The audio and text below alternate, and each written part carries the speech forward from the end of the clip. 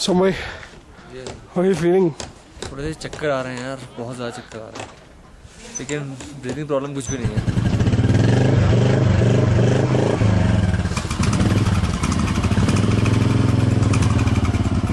हाँ?